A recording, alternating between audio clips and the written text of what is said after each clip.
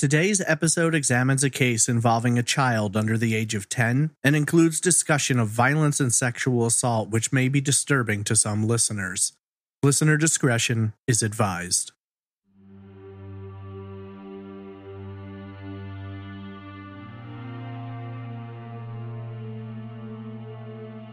Five year old Justin Turner vanished on a Friday morning in March of 1989. Two days of searches organized and led by the Berkeley County Sheriff's Department turned up no trace of the missing child. Investigators began to theorize that the boy had been abducted while making his way to the bus stop, until early on the third day, when his body was discovered in a location that was supposed to have been searched already. The focus of the investigation turned from the possibility of a stranger to someone closer to home, namely his stepmother, Pamela. Following the conclusion of a coroner's inquest, an arrest warrant was issued. Two months later, the grand jury returned an indictment charging her with the five year old's murder. Six months later, all charges were dropped, with the solicitor's office citing a lack of sufficient evidence to ensure a conviction. Disputes between investigators and the coroner's office were cited as hindering the case. Laws protecting spouses from testifying against one another were changed in response. A public battle between prosecutors and the sheriff came down to a debate about the weight of circumstantial evidence. 32 years later, Justin's case has fallen into the hands of cold case detectives who hope advances in forensic technology will finally unlock the evidence necessary to place a child killer behind bars. Has a new person of interest come into the case? Or do investigators remain focused in on the only person ever publicly named a suspect? This is Trace Evidence, Episode 171 The Murder of Justin Turner, Part 2.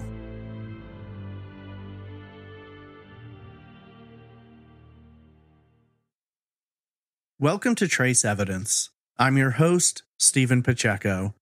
Today, we will conclude our examination into the horrifying murder of five year old Justin Turner. Before getting back into the case, just a few notes about the show. Trace Evidence is a weekly true crime podcast focused on unsolved murders and disappearances. You can follow the show on social media on Twitter at TraceEvPod, Instagram at Trace Evidence Pod, or by searching Facebook for Trace Evidence. If you're interested in supporting the show and getting some Trace Evidence merch, there's a Patreon at patreon.com slash traceevidence, or you can donate directly via PayPal. Visit trace-evidence.com for all social media links, donation options, and contact information. You can submit case suggestions through the website or email me directly at traceevidencepod at gmail.com.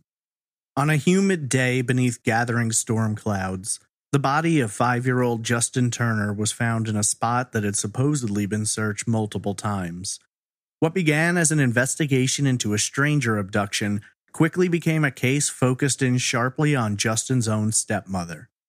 This is episode 171 The Murder of Justin Turner, Part 2.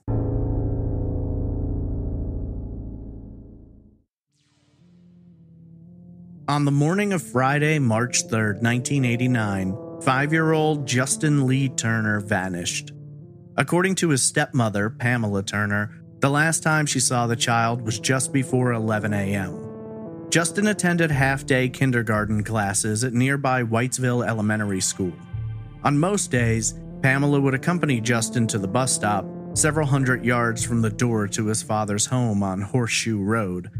However, on this particular day, Pamela was in the shower, and according to her statements to investigators, Justin popped in his head just to say that he was going to the bus stop, and she continued on with her shower. Neither the neighbor nor her grandchild, a good friend of Justin's, ever saw him that day. When the bus returned approximately four hours later to drop off the kids who had gone to school, Justin wasn't there. According to Pamela, she spoke to the bus driver who explained that Justin hadn't gotten on the bus that afternoon, and neighbors told her they hadn't seen him that day, assuming he was maybe sick and staying home. At 3:12 p.m., a 911 call came into the Berkeley County Sheriff's Department to report the 5-year-old missing. Several deputies were dispatched to the home to begin searching, while at the time, they were unsure if an abduction had taken place or if Justin might have gone off somewhere, perhaps to play, and missed the bus either on purpose or accidentally. According to Justin's biological mother, Elaine Pace, investigators first focused in on her. When Elaine divorced Justin's father, Victor Buddy Turner, it was far from amicable, and Buddy had received custody of Justin. At the time, Elaine was mounting a case to adjust the custody agreement, so it was initially theorized that she might have come and taken Justin. Elaine, however, was ruled out quickly when it was determined that both she and her new husband Russell were at work during the time Justin disappeared. Deputies reported that two full searches on the Turner home were conducted that first day, but no sign of the missing five year old was found. On the Turner's property, there was a small trailer, the type you would hook up to the back of a truck, and inside there was a dining area. One deputy claims to have thoroughly searched the trailer, finding no trace of Justin, though a polygraph test would later call that claim into question. Others, however, have stated that they witnessed or were present for searches of the trailer over the course of the next days. The search party for Justin initially consisted of law enforcement officers However, as Friday came to an end, the group would grow. On Saturday, March 4th, the size of the group had doubled and included members of the fire department, search and rescue squads, family, and friends. Elaine's side of the family, though, has noted not only were they not allowed to participate in the searches, but they weren't even allowed to set foot on the Turner's property. By the morning of Sunday, March 5th, Justin's disappearance was statewide news, and the number of volunteers grew exponentially. The third day of searching began at approximately 8 a.m., with different groups being assigned different locations in the surrounding area.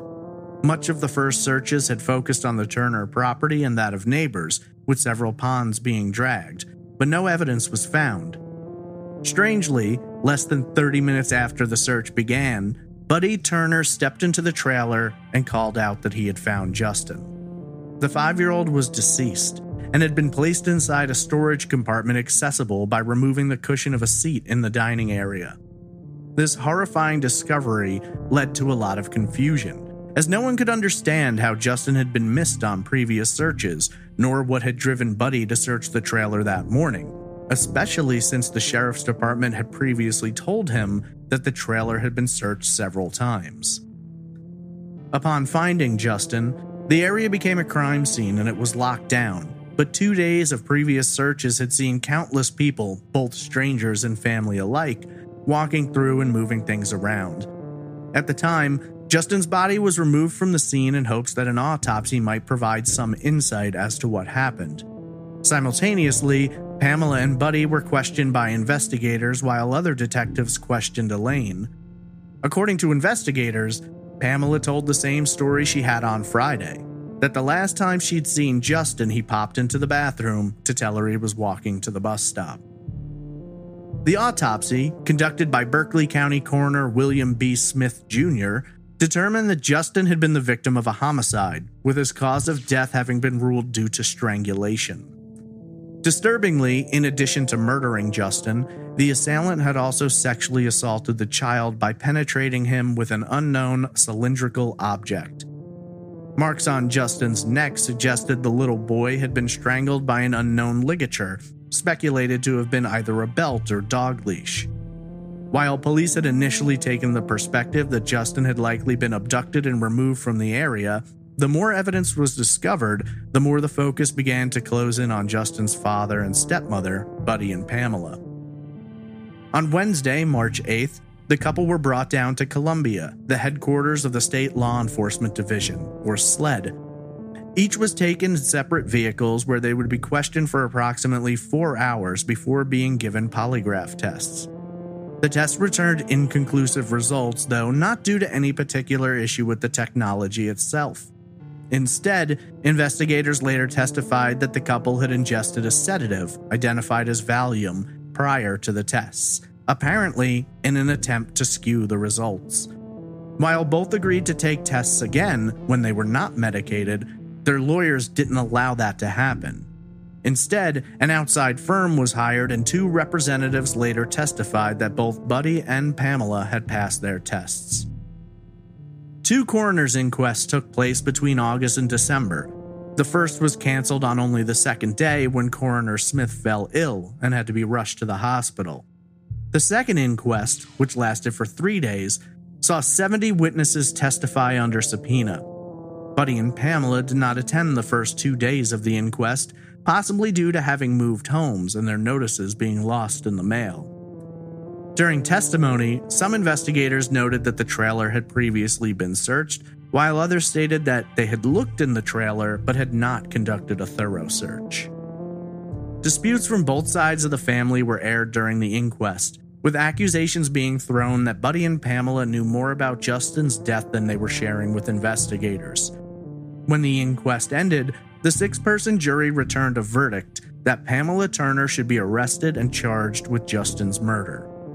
Coroner Smith swore out a warrant then and there, and Pamela was arrested in the Berkeley County Courthouse, being transferred to the county jail until a bail hearing could take place. Two months later, in February of 1990, following three days of testimony, a grand jury returned an indictment against Pamela. Ninth Circuit Deputy Solicitor Steve Davis was in charge of the case, and a trial was originally scheduled to begin in August. Pamela's lawyer, however, requested additional time to prepare his defense, and so the deputy solicitor agreed to move the trial into October, but it would never take place. On Tuesday, November 13th, Davis officially dropped all charges against Pamela, citing insufficient evidence. It was said at the time both the solicitor's office and the family agreed that additional evidence was necessary to secure a guilty verdict, and no one wanted to risk losing out due to double jeopardy laws should new evidence be found later. While Pamela was free to go, Davis specified that the charges could be reinstated at any time, and she had not been ruled out as a suspect. Over the course of the next year, Justin's case would ebb and flow, Media coverage became spotty, and investigators noted that they believed they knew exactly who had killed the five year old. They merely lacked the evidence to file charges. However, that wasn't the whole story. Reportedly, there was a dispute between the sheriff's department and the office of the solicitor. While investigators wanted to make an arrest and allow a jury to decide for themselves, the solicitor's office did not intend to move forward with prosecution unless additional evidence could be found specifically evidence that could tie Pamela directly to the murder. In January of 1991, nearly two years after Justin's murder, a story leaked to the media told a bizarre tale. A witness emerged who claimed to have not only been present the day Justin was abducted, but to have witnessed it. What made the story all the more strange was, according to investigators, they had been aware of this witness since nearly the first day of the investigation, and that is where we pick up the case today.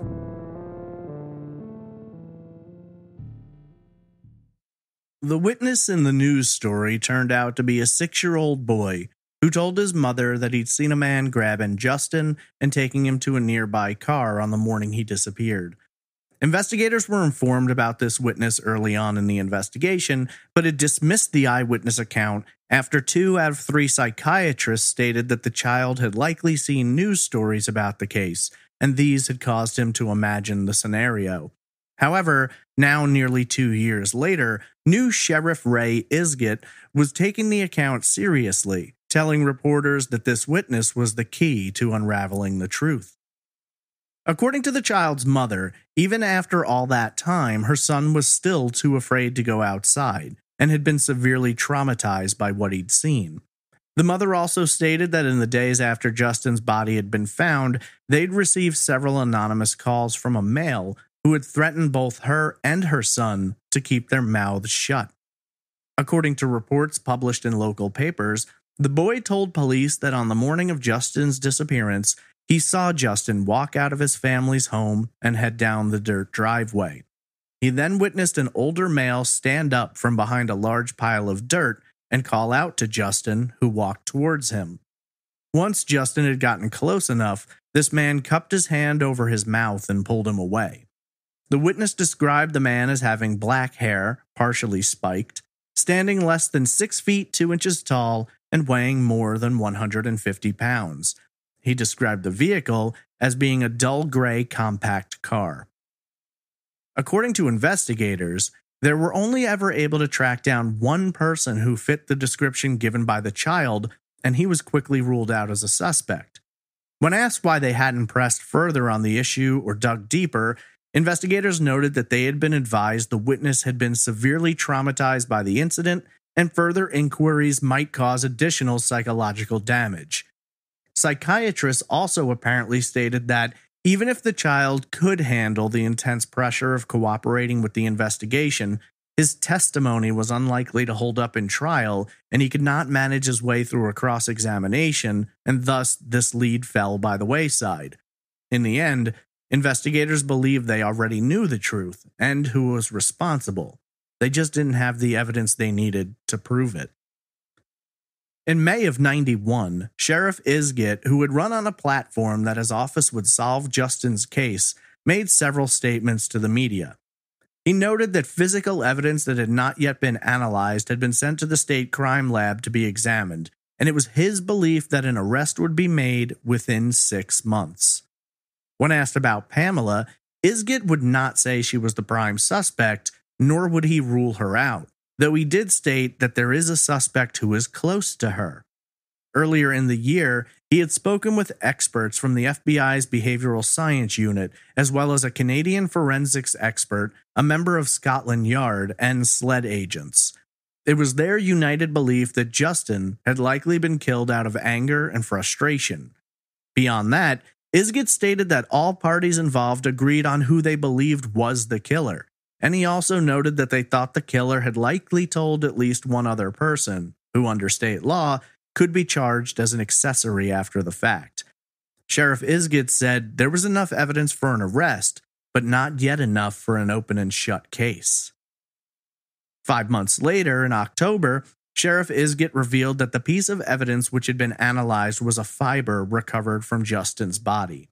This fiber, he said, helped rule out one potential suspect but it also supported suspicions of another. Isgett also expressed frustration with the solicitor's office, who he felt could easily take the case to trial, but were refusing to do so because they wanted more evidence. Isgett stated, quote, As far as I'm concerned, we're to the point where I'm satisfied that we either need to go forward with it or set it aside for new developments. If we can't get a murder conviction, what's the next best thing? Is it a manslaughter charge? I want to go with murder. End quote. In February of 1992, a second grand jury hearing was held, though this one failed to return any indictments. Deputy Solicitor David Schwacke made several comments regarding the way state laws currently protected spouses from being compelled to testify against one another. He also noted that the grand jury had recommended the law should be changed when it comes to the murder investigation of a child. When asked if it was specifically this law that had blocked the prosecution, Schwacke told the Sumter item, quote, That's a conclusion that can be drawn from it. That invites speculation as to who may or may not be the target and who may or may not be the witness. The public and the press are going to draw some conclusions. We would certainly prosecute the case should it ever become postured so we could present enough evidence to warrant a conviction. End quote. One month later, in March of 92, three years after Justin's murder, a new law was passed which adjusted the rules regarding compelling spouses to testify. Specifically, in the case of the death or murder of a child, spouses could no longer plead the fifth and would be held in contempt of court for refusing to testify. Unfortunately, this law could do little for Justin's case, as it could not be retroactively applied to any persons who had previously been charged or indicted for murder. Yet another unfortunate turn of events in a case which seems to be flush with missteps, near misses, and outright mistakes. That same month, Elaine Pace filed a $10 million lawsuit against the sheriff's department alleging they were negligent in their investigation, the lawsuit claimed that the sheriff's department did not properly investigate Justin's death, did not properly secure the crime scene by allowing Pamela and Buddy to continue staying in the home, and did not adequately investigate physical evidence. The sheriff's department argued back that Elaine had missed the deadline to file this lawsuit and that they had not been negligent during any part of their investigation. Six months would pass, but in September, Judge Gerald Smoak dismissed the case, noting that the state Supreme Court had ruled previously that public officials could not be held liable for using their own discretion in the performance of their public duties. Once again, Justin's case began to fall out of media headlines, and another feud between departments developed. This time, the sheriff's office was in conflict with the Ninth Circuit Solicitor's Office, with Sheriff Isgett stating that he believed there was plenty of evidence to make an arrest, but he wouldn't do so because he'd been told by Deputy Solicitor Schwacke that they would not prosecute without further evidence. Justin's case again became politicized, with it being brought up in debates between candidates for the position of sheriff as well as other public posts. While some believed that investigators had bungled the case, the sheriff's office stated that they had done everything they possibly could to the point that they simply didn't have the evidence they needed. All the while, the life of an innocent, sweet, and kind child was destroyed, and the person responsible was free to move on with their life. As Elaine suffered terribly with the loss of her son, the case began growing cold. However, it was far from over. Over the course of the next few years, there was a lot of back and forth in the media, mostly between the sheriff's department and the solicitor's office. Sheriff Isgett essentially told reporters that he was washing his hands of the case. His department had done everything they could, but it was never enough for the solicitor's office, and so what else could they do? When the election came around for a new sheriff, several deputies who had worked under both Isgett and Cannon stepped up to run for the spot. During debates, Justin's case was brought up, and both Lieutenant Sidney Wren, the lead investigator, and Deputy Wayne DeWitt replied that they had worked the case hard, and sadly, there was unlikely to be a prosecution unless someone confessed. In December of 1996, coroner William Smith Jr. passed away. A month later, in January of 97, family members came across several files related to Justin's case while going through his belongings. At the time, there was uncertainty as to whether those files were originals, not in the possession of investigators, or if they were copies that Smith had taken home to work on the case in his free time. The documents were turned over to then coroner Wade Arnett, who in turn contacted SLED and delivered all the files to them. Unfortunately, following the discovery of these files, Justin's case once again fell from the headlines and the investigation appeared to have hit a wall. Sadly, on Sunday, December 26, 2004, Vivian Elaine Pace passed away at the age of 46. For 15 years, she had struggled to accept the loss of her son while fighting to ensure justice would be delivered. She tragically lost that struggle and was laid to rest in the mausoleum next to her beloved child. Later, when asked about how the murder of Justin had impacted the remaining years of her life, Russell Pace told the Post and Courier, quote, Elaine worked on trying to find out what happened to her son until the day she died. She was constantly on the phone with investigators seeing if they had any new information. She never let it go. End quote.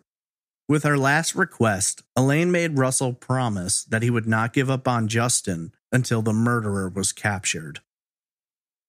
Seven years later, in 2011, 22 years after Justin's murder, Several newspapers ran articles discussing the case and wondering where the investigation was at after more than two decades. At the time, Sheriff Wayne DeWitt told the Post and Courier that Buddy and Pamela remained persons of interest, but to date, insufficient evidence had been found to formally charge them. Sometime in the more than 20 years that had passed, Pamela legally changed her name, and according to the sheriff, neither she nor Buddy ever contacted them. Sheriff DeWitt explained, quote, The mother called every day, but we never heard one word from the father. Not once has he called over the past 22 years to inquire about his son's murder or where we are in the investigation. End quote. Russell Pace was interviewed by WCSC News 5 and asked about why he believed no arrests had ever been made. In his opinion, the investigation was handled poorly from the get go, and it was due to those early mistakes that justice had been evaded. Russell explained, quote, From what we understand, things were lost, things were contaminated, too many people were involved, not enough leadership at the time. Justin's constantly in my memory. End quote.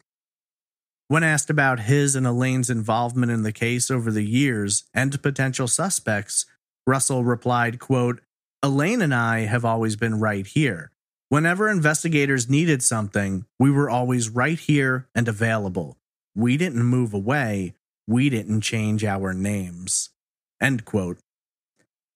2014 marked 25 years since Justin's murder, and still, there didn't appear to be any new developments. Several new pieces of information emerged around this time, though what weight they truly carry versus speculation has never been solidified.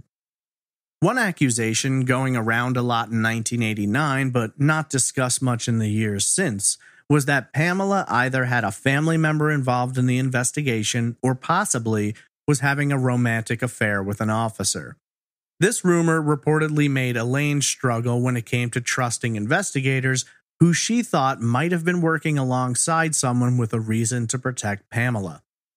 When Lieutenant Wren was asked about this, he told the Berkeley Observer, quote, I would never even try to recognize such a statement as that because it's not true. I don't know of anyone she was connected with like that. I know because I was the lead investigator, and there's no way I would have let that happen under any circumstances. End quote.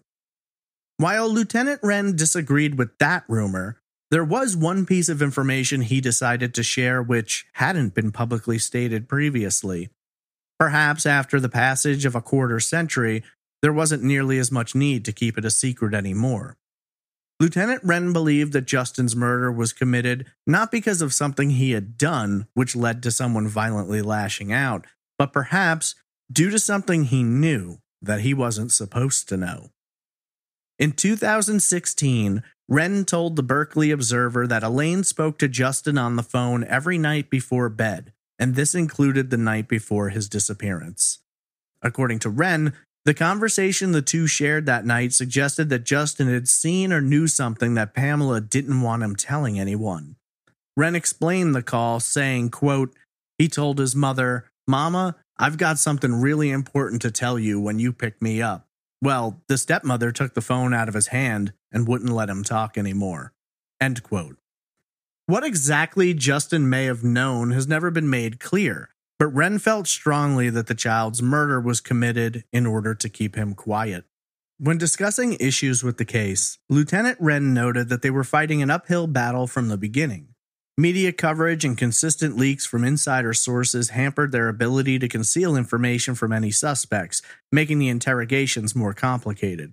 During this interview, Wren also makes the claim that he had specifically requested that coroner William Smith not get involved and call an inquest, which contradicts statements he made at the time where he'd originally argued they had asked Smith to hold an inquest, but he wouldn't. When discussing coroner Smith, Wren stated, quote, the coroner at the time was only 21 years old. I asked Smith to let me handle the investigation and don't do anything until I completed it. I brought him in my office. He acted like he had no problems with that, but the very next day, the news media comes out with Coroner calls big inquest. He screwed it all to hell. He was doing everything to make the sheriff's office look bad. I was going to need the real mother, Elaine, to help me connect the evidence that Victor's mother had been providing me with. She refused to talk to me. She was mad as hell because the coroner had messed up her mind. End quote. When asked who he believed had been responsible for Justin's murder, Wren wouldn't give a name, though he specified there was no doubt in anyone's mind who had been the killer. Directly asked about Pamela, Wren stated that she lied multiple times during the initial polygraph and that she refused to cooperate with the investigation. When discussing Buddy, Wren talked of how his own mother had tried to help detectives, saying, quote, I had Victor's mother go to him and get him by himself to talk to him in detail to get him to come forward. By this time, we knew what went on, but she had something over his damn head so that he wouldn't say anything. What it was, I'm not sure. End quote. That same year, Justin's family reached out to Berkeley County, hoping to reinvigorate the case and find out where exactly it stood. Denise Finley and Amy Parsons, Justin's cousins, remember the horrible circumstances surrounding his death, and with his mother and grandparents gone, they believe it's their responsibility to continue the fight for justice. The group was able to visit the sheriff and discuss the case, with Amy explaining, quote, I was very pleased with the meeting. It's the first opportunity that we've had in many years to meet with the sheriff. They currently have a new set of eyes looking at the case, and we're hoping to maybe pursue some things. End quote. Following Justin's murder, Elaine had given birth to a son she and Russell named Cody. While Cody never had the chance to meet his half brother, he learned a great deal about him through his mother, and over the course of those years, he saw how much pain his mother had gone through. Asked about the impact Justin's murder had on Elaine and on Cody himself, he replied, quote, It's been very hard for everybody. When she was dying, one of her last wishes was to have my dad pursue the case. So even as she was there dying, it was on her mind, consuming her. Looking back, she was miserable. It's always going to be on my mind until something happens because that was my mom. She didn't get closure. It affected her relationship with my dad a lot. I just don't understand how someone can live with this for so long and not say anything. I just don't understand how they can live with themselves. End quote. In September of 2020, it was announced that Justin's murder was one of nine cases being re examined by the cold case unit. Out of the nine cases, Justin's file is by far the thickest and most extensive, with simultaneously the largest amount of evidence, but not definitive enough evidence to make an arrest. Sheriff Duane Lewis told the Post and Courier that in 2019, investigators had met and spoken with Buddy and Pamela, though he wouldn't go into detail about what exactly was said. In regard to the new investigation, Sheriff Lewis stated that the original crime scene photos and autopsy photos had gone missing in the early 2000s, but they found them in Alaska. Apparently, a former investigator had sent the files to a forensics expert, but had never followed through or requested their return. Having the original photos allowed detectives to examine the evidence through a sharper lens, and it was determined that Justin had likely been killed with an object consistent with a dog leash. Beyond the photos, it was decided that, considering updates in technology, evidence should be re examined in hopes they might find something. Sheriff Lewis stated that 70 pieces of evidence had been sent to SLED headquarters in Columbia for new testing, and that at least one piece of equipment being used is the MVAC, a sterile wet vacuum that can draw out DNA material previously considered too small to collect. Lieutenant Kokinda of the cold case unit explained, quote, samples that were submitted a couple of years ago that may have a negative profile or partial profile now with more sensitive testing might develop a profile. End quote. It's been 32 years since 5-year-old Justin Lee Turner was murdered and sexually assaulted. If alive today, Justin would be turning 38. Who knows what life he could have built for himself, how his life might have dramatically changed the direction of his mother's and his family's, and what losses and pains might have been avoided had someone not chosen to violently strangle and assault the young boy. Still, after all this time, while much of Justin's family and the investigators who worked the case have passed away, justice remains just out of reach. Hopefully, through new technology, the answers will be found. One thing is for certain Justin's family have no intention of forgetting, nor will they give up. Well, that is most of his family, outside of two people who in 30 years have never picked up the phone to ask if the investigation was even still ongoing. Before passing away in 2004, Elaine implored her family to continue the fight. It was her dying wish, and 17 years later, that fight is nowhere near over. So long as a monster is free to walk the earth while Justin was taken away before his life even got a chance to start, justice has not been served. Asked about the case 25 years later, Russell Pace explained, quote, It's been hard to believe the person who did it can live their life for 25 years and knowing and thinking they got away with it. It's mind boggling. I promised my wife before she passed away that I would continue the battle. She told me not to give up, keep it in the news, just fight the battle for her. That was one of her last requests. A five year old boy disappears on the way to the bus stop, a short walk from the front door of his house. Hours pass, and no one knows that he's missing. Other children assumed he was homesick, while his stepmother says she thought he'd gone to school. When the afternoon bus came through the neighborhood, everyone was accounted for except Justin Turner. At 3:12 p.m., a 911 call is placed kicking off an investigation which over the course of the next 48 hours will dramatically change shape when Justin's body is discovered in a trailer on his family's property. A trailer which has supposedly already been searched. Authorities determined that Justin had been strangled as well as sexually assaulted. Initially, police believe the suspect has to be someone from the outside, someone who abducted the child during his walk. However, as evidence mounts, the stranger theory is disregarded, and instead, investigators believe the suspect had to have been someone Justin knew, someone who likely knew and was close to the family. Through the investigation, questions begin to arise about those closest to Justin, with detectives taking a hard look at his father, Victor, also known as Buddy, and his stepmother, Pamela. By the end of the year, Pamela is officially arrested and charged. Two months later, a grand jury returns an indictment for the murder of Justin Turner. However, while it appeared a trial would finally be able to sort through the evidence and reveal what happened, all charges are dropped, with a lack of sufficient evidence being cited as the reason. Internal disputes are leaked to the media showing the sheriff's department and then coroner William Smith were clashing over the way to proceed. Sources tell the media about evidence investigators hope to keep under wraps, forcing a media blackout from the sheriff's department. Later, after the election of a new sheriff, a new clash erupts, this time between the sheriff's department and the solicitor's office. While then Sheriff Ray Isgett believed enough evidence existed for an arrest and trial, Deputy Solicitor David Schwacke disagreed. Just as quickly as Justin's case had captured headlines and the attention of an entire state, the stories begin to fade. Coverage drops off. A few blurbs here, an article there, as the investigation itself seemingly stalls at a dead end where the decision has to be made to continue digging or to wait and see what else develops. All the while, Justin's mother Elaine suffers the pain and grief of losing her beloved son as his father and stepmother move out of town, with the latter changing her name, seemingly in an attempt to distance herself from the case. Over the course of the next 14 years, Elaine calls every day wanting to know what's happening with her son's case.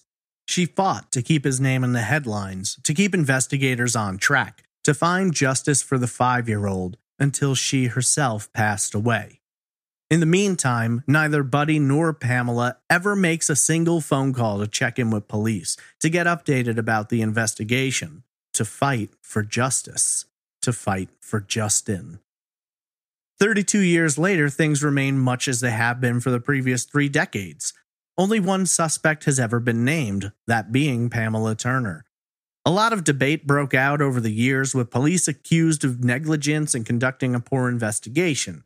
There were rumors that a connection between Pamela and someone in the sheriff's department interfered with the case, an accusation the lead investigator denies, but the damage had already been done. Investigators claim to have searched the trailer, but a polygraph calls much of that into question, while polygraphs are given to Pamela and Buddy, and they're ruled inconclusive due to each allegedly taking Valium in order to skew the results. The crime scene wasn't protected until after Justin was found, while in the prior 48 hours, dozens, if not hundreds, of people had been everywhere participating in the search. What evidence was found answered some questions. Justin had been murdered the day he vanished, likely within hours of when he was reported missing. Forensic examinations conclude that he couldn't have been stored in a freezer or even moved after his death, but had been hidden in the storage compartment beneath the trailer seat while hundreds of people were scouring the neighborhood in search of him. In the end, it was Justin's own father who discovered his body, leading many to wonder if he'd always known, or perhaps had been told where to find him. Then statements from a neighbor's son, six years old at the time, throw another wrench into the investigation. This witness claims to have seen Justin's abduction, allegedly perpetrated by an older man who grabbed the child and whisked him away to a waiting car. While police do find one person who fits the description, His alibi clears him of involvement, and the witness is subjected to psychological examinations. In the end, two out of three psychiatrists believe the witness had been influenced by news coverage, while one suggests the level of trauma the child experienced more than likely supports his claims. Police are advised to back off, as further questioning might increase his traumatization, and in the end, he couldn't stand up to cross examination in a trial setting anyway. In all reality, though, investigators already had their prime suspect, and they never found much to dissuade them from believing they knew exactly who the killer was. Unfortunately, they never get the evidence they need to directly tie the suspect to the murder, with many calling it circumstantial at best. I know what you're thinking. I've read the comments and emails I've gotten since posting part one. Everyone believed the answer lies with Pamela, and I fully admit it's difficult to not be heavily swayed by what evidence does exist. That combined with what I can only call bizarre or evasive behavior in the days and weeks after the murder makes it pretty clear who's most likely responsible, and it wasn't a stranger. Cases like this are exceedingly frustrating when you have a good idea of who likely committed the crime, but it can't be proven. Factor in the murder and sexual assault of a child, and it's difficult not to be full of anger and rage. Only a monster could do something like this, and yet, in this case, that monster has walked free for 32 years. I've had people ask me why I do cases like this. Why bother when we pretty much know what happened? Well, it's pretty simple. This isn't about finding the most confusing and complicated mystery. It's about bringing attention to cases that need it, cases where even the slightest piece of information could sway everything. Who knows what someone might have been biting their tongue on for the past 32 years? Who knows what someone might have seen or heard in the days leading up to the murder or the years after? You never know what key might be necessary to unlock the mystery, and while everyone believes they know who committed the crime and says so with a sense of self satisfaction, that does little to provide justice for Justin Turner or his family. It's sort of the same way people often tell me they don't like when I cover cases involving children. I get that. These are the hardest episodes to research and write. But I've always seen it as if they had to suffer through this, the least I can do is try and make sure no one forgets. I don't expect everyone to listen. I don't expect everyone to be in a position when they can go through this horrible nightmare without feeling heavy grief and anguish. But whether it's 50,000 or 2,000 people hearing the story, that's 2,000 more people than knew about it yesterday. I don't envision myself as some detective who's going to solve these cases. I'm not out there trying to make arrests. I'm telling the story and hoping that maybe somewhere out there it finds someone who either remembers something or decides that after all these years, it's time to speak up. Justin's family wants justice, they want answers, they want the truth, and they want to see Justin's killer behind bars and they deserve to have all of that. The last real confirmation we have of Justin being alive seems to be the night before his disappearance. According to Lieutenant Wren, Justin spoke to his mother Elaine on the phone the night of Thursday, March 2nd. Sometime during that conversation, Justin apparently mentioned wanting to tell Elaine something, and before he could, the phone was taken away. The only other statement we have about Justin following this comes from Pamela. According to her testimony, she was showering at approximately 11 a.m. on Friday, March 3rd, when Justin popped in to say he was going to school. Normally, she walked him to the bus stop, but for whatever reason, she showered instead. I know we have the witness who claims to have seen Justin that morning, but we'll get into that later. So, according to the investigation, Justin disappeared sometime on the morning of the 3rd prior to 11 a.m. While there's a chance something could have happened to him between the evening of the 2nd and the morning of the 3rd, his time of death was narrowed to have been between 10 a.m. and 3:30 p.m. on Friday. This was based on forensic examinations specifically related to the last food Justin was known to have eaten, a bowl of cinnamon toast crunch.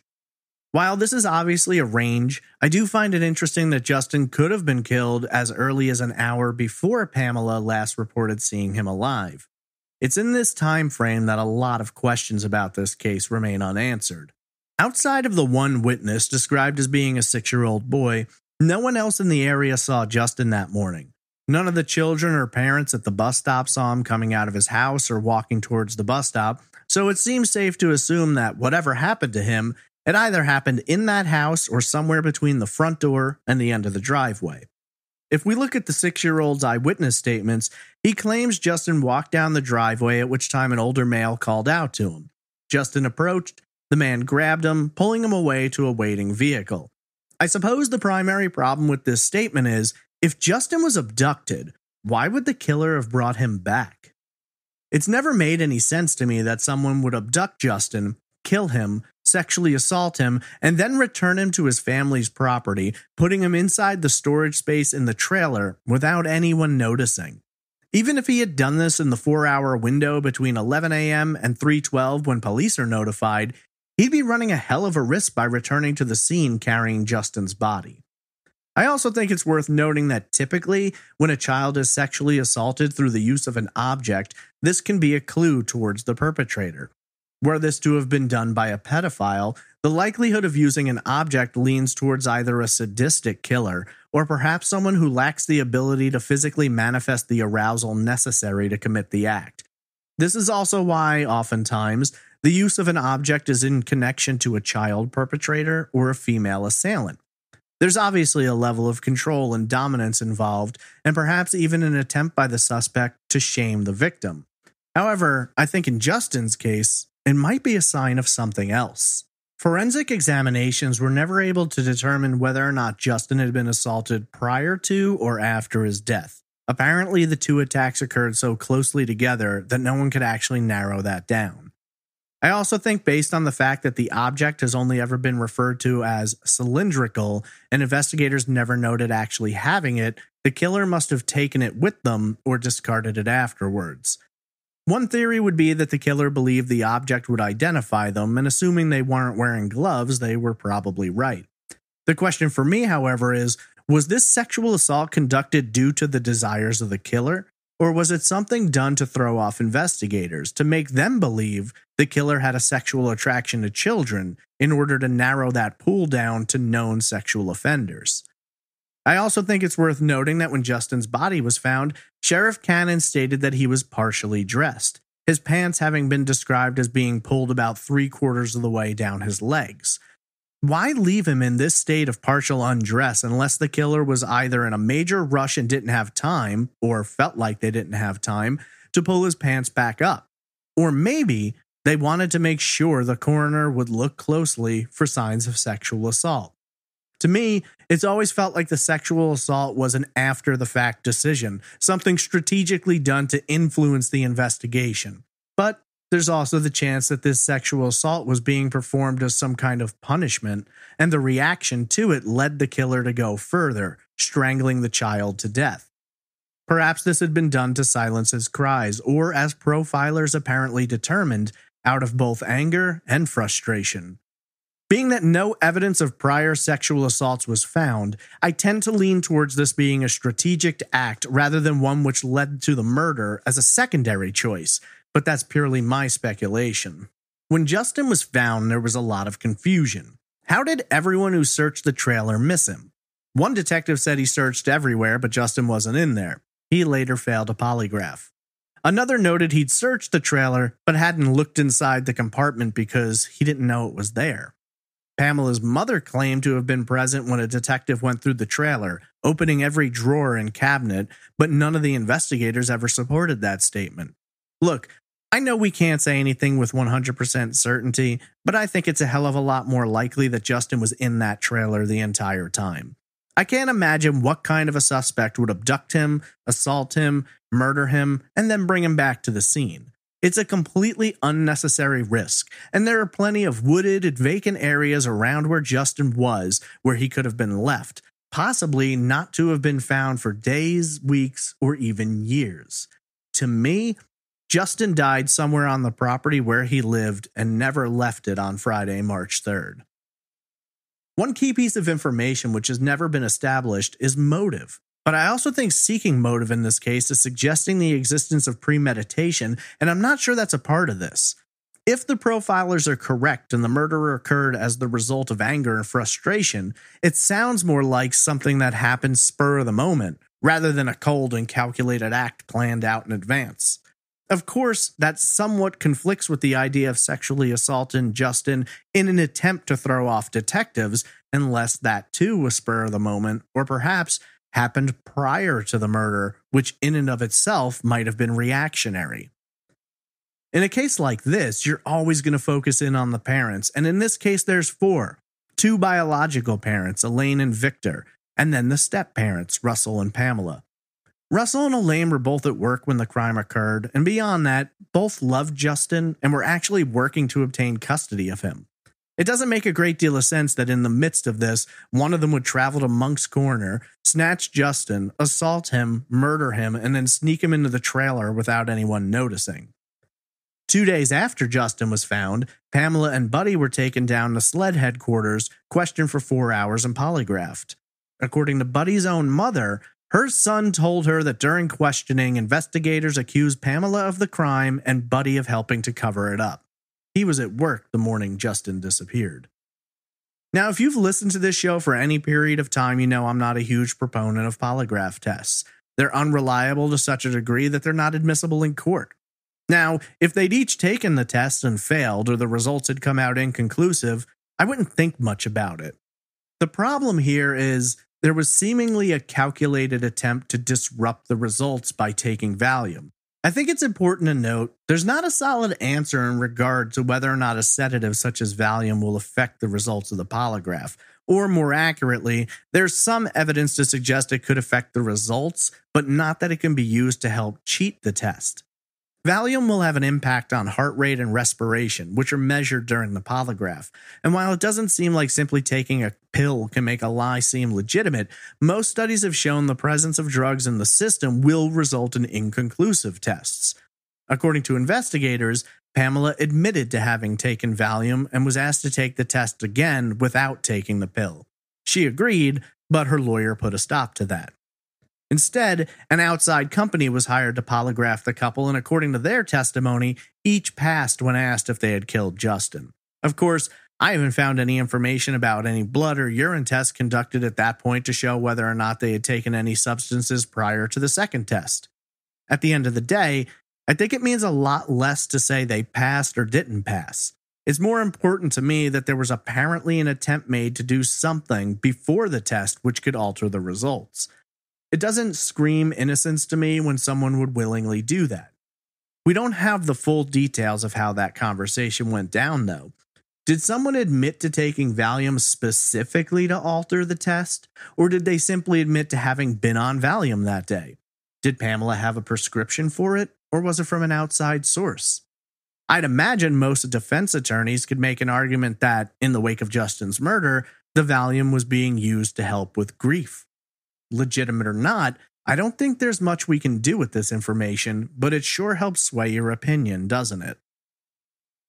After hiring lawyers, Buddy and Pamela are fairly uncooperative. They won't answer any questions that don't go through their lawyers, they won't take a polygraph at SLED headquarters, and when the first coroner's inquest is called, each pleads the fifth rather than testifying. When the second inquest begins, neither shows up for the first two days.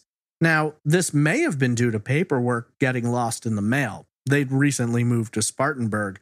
But you'd also have to believe that their lawyer wasn't contacted and they weren't watching the news or reading any newspapers during the weeks leading up to this. When they do show up for the third day, they again plead the fifth and refuse to answer any questions under the advice of their lawyers. Just think about that for a moment. Take Pamela out of the equation. Just look at Victor. Your five year old son was sexually assaulted and strangled before being stuffed into the storage space inside of your own camper, and you won't answer questions under oath? Does that sound like a father desperate to get to the bottom of the case? I think now is a good time to address the Fifth Amendment. With Pamela clearly being the prime suspect at the time of the inquest, pleading the Fifth somewhat makes sense, but I do think it's worth noting that the Fifth Amendment is invoked because people have a right against self incrimination. Essentially, if you did something wrong, you can't be forced to admit that in court. That's the prosecutor's job, they have to prove it. However, it isn't purely limited to answering a question that would directly incriminate you.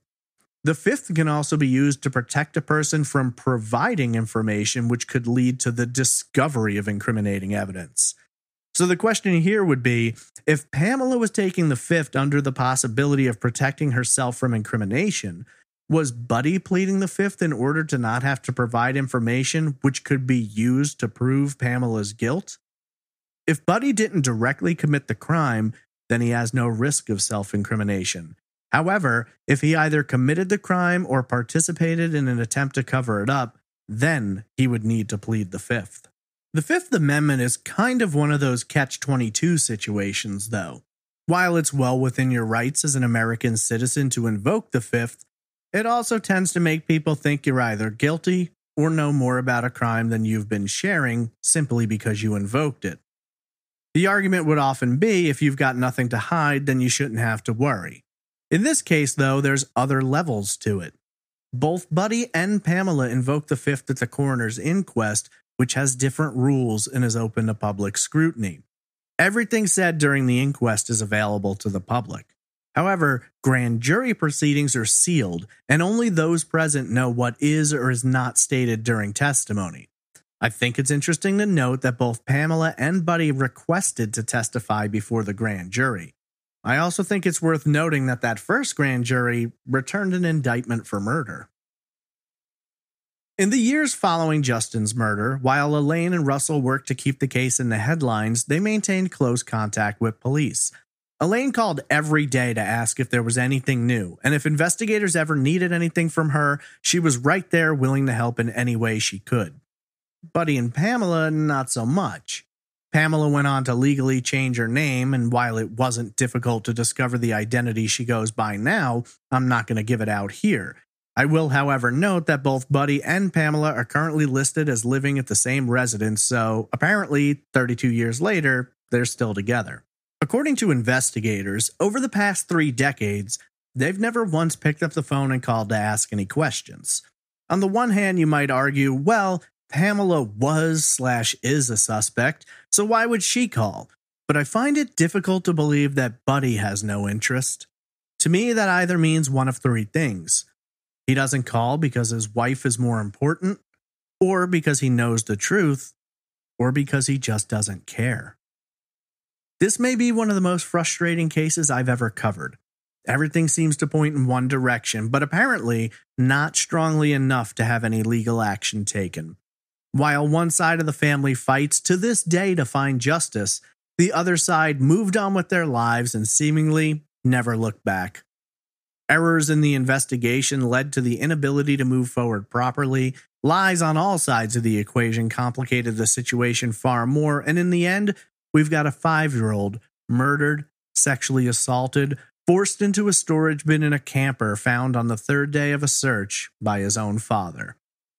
How many quotes did you hear during these past two episodes that I attributed to Buddy or Pamela outside of pleading the fifth? None.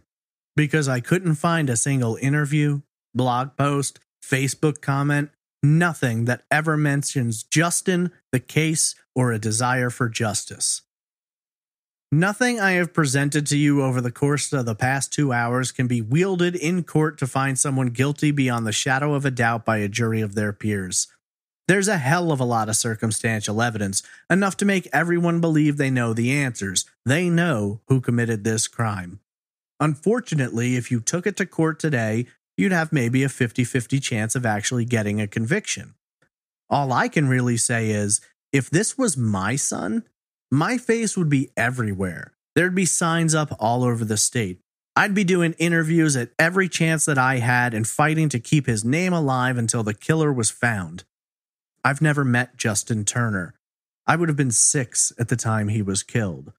I never knew his family. I never got to see his smile or hear his laugh.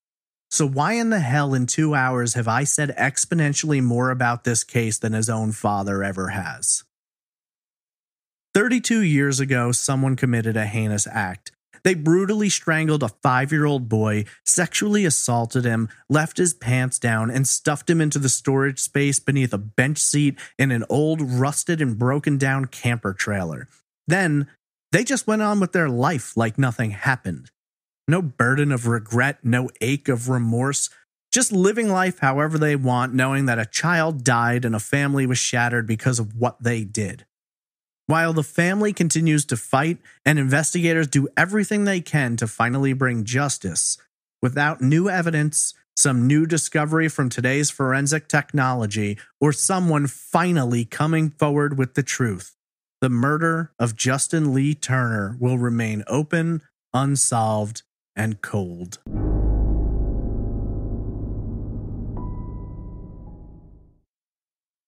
If you're looking for more information about the murder of Justin Turner, there are many news articles discussing his case.